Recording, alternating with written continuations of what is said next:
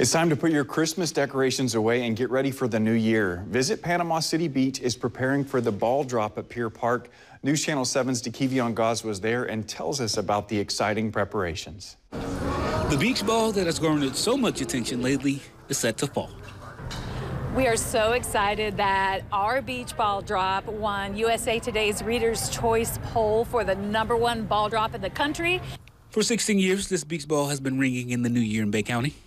We started planning in August and we would do like 17 hour days throwing this event. So we're very grateful to visit Panama City Beach for taking on the event and we're so excited to see what they do with it. They're just Dan Rowe with Visit PCB says the staff is ready and the work will show on Sunday.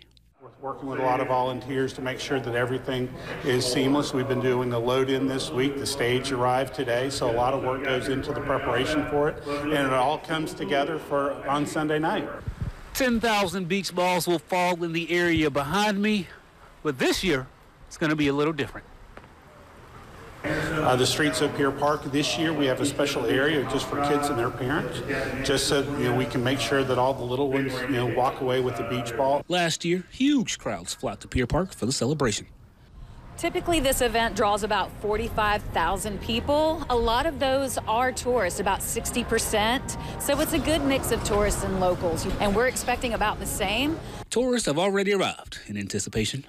We're super excited to be here for this. We came down to spend our entire Christmas here and extended it out to make sure that we could be at the ball drop. We've never got to do anything like this before. We read it is the number one ball drop in the country, so we wanted to be a part of that as a family patiently waiting to ring in the new year in Panama City Beach. the DeKevion Gause, News Channel